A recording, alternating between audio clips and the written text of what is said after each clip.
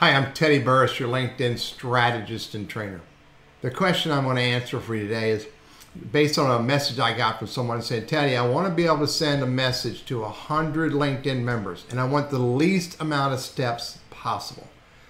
So let me show you some options you have for doing that. Number one, I can go to set it, create a new message. And when I go to create a new message, I can put up to 50 names into a single message. So if I know who uh, the, these 100 people are, I could send a group message to uh, 50 of them at a time. Now here's the problem with group messages. Group messages look spammy. And unless all the people know each other, trust and respect each other, they're not really interested in being on a group message. So I wouldn't send a group message unless, again, all of these people relate each other, maybe know each other, and if the message is highly relevant to all of them. And if you do write a group message, make sure you're writing it so you're still speaking to the individual, even though it's going to a group. So if you have 100 people, you could potentially put up to 50 names in two messages and accommodate a single message to all 50 people. Now here's an alternative. The alternative is to build a search list of the of the people that you want to send it to based on search criteria. And in linkedin there are about 11 12 filters that you can use for this search criteria. But build a search list i just built one here. Drive it down to about 100 people. Maybe you want to you got to pick on you know different locations maybe north carolina. Drive it down to as close to 100 as you can get to it and then go through the list and one at a time click and send them a message. Now, you can use a copy and paste tool. And by the way, you can only do this and the previous option for a group messaging that I sent you. Um, and you can only do that for people that you're connected to, first level. I can't do this for second level. That would be in mails, that's another conversation. Or you use Sales Navigator, it's another conversation. But if first level connections, I can send a message, click one click, type the message, paste the message, hit send, and then you hit escape.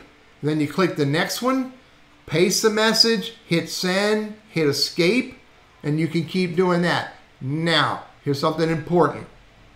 This is more beneficial because it's an individual message to Angelo, Bill, Gardner, etc., etc.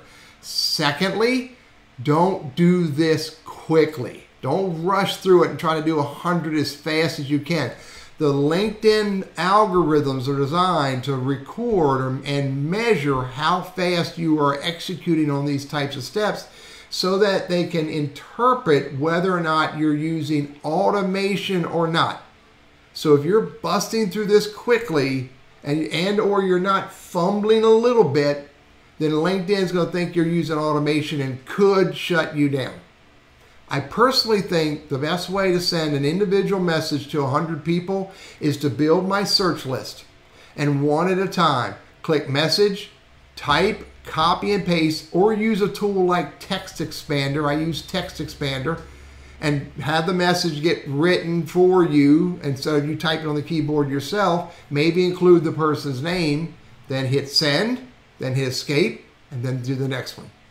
Before I wrap up this video, I just want to share with you that I built this LinkedIn mastermind group in a Facebook private educational group. And it's designed to help those who want to use LinkedIn more intentionally, more purposefully. It's designed to help them understand all the different areas of LinkedIn, the best practices, the tactics, the tips, tricks, hacks that they need to that you need to know in order to get value out of LinkedIn. This group is designed that I answer any question you put to me within the group.